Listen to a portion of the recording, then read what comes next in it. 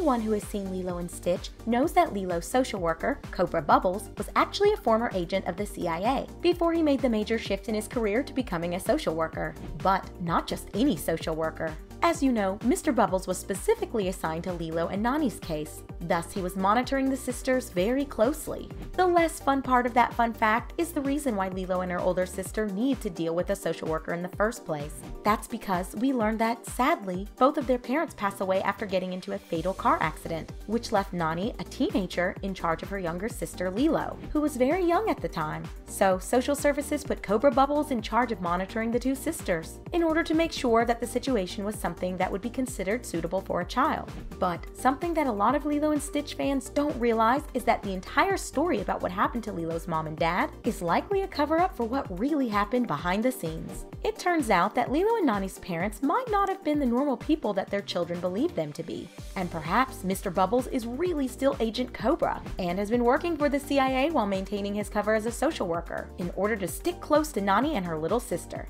Check this out. Not to sound like a broken record here, but as we just said, Agent Cobra Bubbles worked for the CIA for, presumably, quite some time before making the huge change in his career path to becoming a social worker. I can't emphasize how big of a difference in careers that is. I mean, there is hardly any comparison aside from the paperwork, maybe? So, what in the world could have made Bubbles want to leave his chosen profession and start an entirely new one? He would have had to have a really good reason, like a dire reason to make such a shift. Well, one Redditor, Kapukoa, introduced fans to an interesting theory, which stated that the reason Agent Bubble quit working at the CIA was because something happened to one or two of his partners. And in this scenario, his partners used to be either one of or both of Lilo and Nani's parents, and thus caused Lilo and Nani to be left on their own. And it left Bubbles feeling like he needed to help watch over his former partner's children. There's actually a ton of supporting evidence for this as well. This would certainly explain one of the reasons why Bubbles didn't take Lilo out from the care of her older sister Nani. It's because he knew that if anything happened, he would be right there to help as a social worker, aka CIA agent. Another supporting factor in this theory actually takes a look at the risk he takes in not reporting what was really happening at Lilo's home with her older sister. And the reason I know he wasn't reporting the information back to his bosses at Social Services is because if he had been telling them about Lilo and Nani's living conditions, they would have likely snatched Lilo up in a heartbeat. I mean, I love Nani, and she's a wonderful guardian to Lilo. But from an outside perspective, she definitely seemed way in over her head trying to maintain Lilo at some points. And to a social worker, almost everything in their home and everything about about Lilo's behavior would definitely be a red flag. So either the child service workers don't really care about doing their jobs in Lilo and Stitch, or Cobra Bubbles is specifically leaving out anything from his reports that would get Lilo taken away from her sister. So again, let's ask the big question. Why would Bubbles be doing such a thing? Jeopardizing his job like that for a seemingly random family, of whom he seems to have no connection to? Because let's be honest, if his company finds out how much he had been neglecting his duties as a social worker, he would likely be fired in an instant.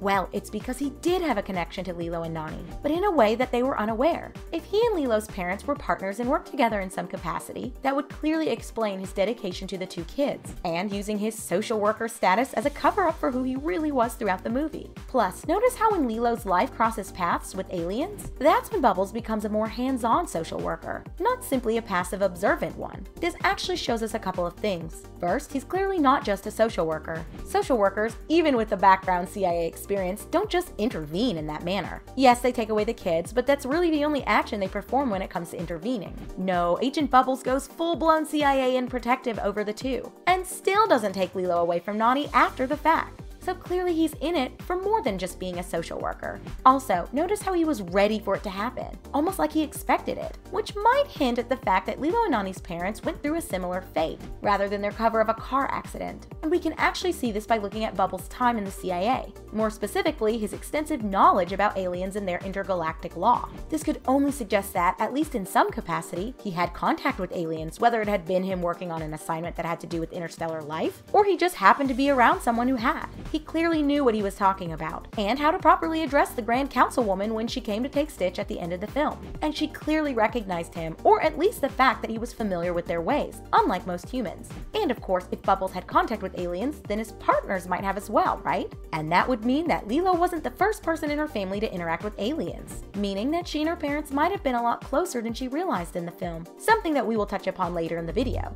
But if you're still not exactly convinced that Lilo's mother and father worked for the CIA, Take a look at Lilo for a second, and her obsession with photography. I mean, without a doubt, Lilo could be described as a shutterbug. Lilo is almost constantly filling up her film strip and her camera. We even see how proud she is when she tells Nani that her camera is full again. And it's clear that this is a regular occurrence, because Nani seems visibly irritated by the fact that she has to get the film developed again. But what if it clued us in on something more? Specifically to very real possibilities of where this habit or hobby stemmed from. Well, one of the big theories out there is actually this idea that Lilo isn't filling up her camera because she particularly enjoyed taking pictures, and instead, she was doing it as a way for her to remain close to her parents who weren't around anymore. The first way people conceptualized this was that she suffered a great loss, and rather than taking pictures of her broken family, she started taking pictures of other people, other couples who reminded her of her wholesome family, basically meaning that it was her way of maintaining the wholesome life and family she used to have, but no longer could experience without her parents. And we definitely think this is a factor in her extreme focus on her photography skills. But there's actually a second concept that explains this point a little bit further. If we buy into the idea that her parents were a part of the CIA, that could mean that, while they were still around, they probably showed CIA tendencies that they never explicitly defined to their children. More specifically, as a part of the CIA, they probably had certain surveillance missions they went on as a part of their career. Take a look at the type of pictures Lilo actually takes. Notice how she has a tendency to take pictures of overweight people. It's almost a little weird how many larger people she has pictures of compared to normal sites around the island, or even just memories in general. Well, what if one of Lilo's parents actually took her on missions without Lilo realizing it? And specifically low risk missions as to not put their daughter in danger. This would allow whichever parent who had her to use the cover of their daughter to take surveillance photos of targets for the CIA. Think about it, most people wouldn't look twice at two vacationing family members taking photos, even if the camera was pointed in their direction. Nowadays, you might even assume they're taking a selfie. So the idea is that Lilo would go with one of her parents on surveillance missions, under the guise that the two were just spending time together, and for whatever reason, their target was an overweight person at the time. Hence, Lilo's obsession with taking pictures of bigger people. It would also be fair to assume that aspects of their parents' lives would bleed into other parts of theirs. Take a look at the types of books that Lilo reads as another example. Most kids are into fun picture books or some gentle nonfiction chapter books. Lilo is totally different though. I mean, how many little girls do you know that are interested in oyster farming to the point where they have a book about it? Because for me, that answer is zero for sure. Marine biology, maybe, but oyster farming? And how old is Lilo? Like eight? The only reason she would be reading that book is one, if someone inspired her to, or two, she was an oyster farmer. She even had a book on Iowa's road maps. Why in the world would she need that? Unless it belonged to her parents. Think about it. CIA agents would need to be very knowledgeable about anything concerning their various assignments. So these likely belong to Lilo's mother and father, and she probably saw them studying them all of the time. So, much like with the camera and the photographs, she too studied them so that she could remain close to her parents. To think that Lilo has been carrying around the weight of her parents, who, as we said, are seemingly dead, at least as far as Lilo and Nani know, is kind of heartbreaking. And whether she realized it or not, most of her hobbies or outlets seem to be ways that she keeps her parents close to her heart because they're her family, and as we know, family means nobody gets left behind. So now the big question is this What happened to Lilo's parents, and are they actually dead? As far as fans are concerned, especially when it comes to this theory, it seems like they're divided into two schools of thought. The first is that Lilo's parents aren't actually dead, and instead, the story of their death was just covering up the fact that the parents went into hiding, or possibly went on some sort of interstellar assignment. After all, as we speculated earlier, Lilo's parents, if they had been working with Agent Bubbles and the CIA, would likely have been involved in any extraterrestrial cases that Bubbles was working on. But in order to sell their disappearance to the world without raising suspicion from anyone into what they might be doing, they had to fake their own deaths. This likely included the car accident that they hint at in Lilo and Stitch, meaning that though they might be alive, their children think that their parents are dead and will never be coming back. The other school of thought is that Lilo's parents are actually deceased, and that there is no cover up happening. This one is largely due to an episode of Lilo and Stitch the series where they pretty much solidify the fact that her parents did in fact die in the car accident.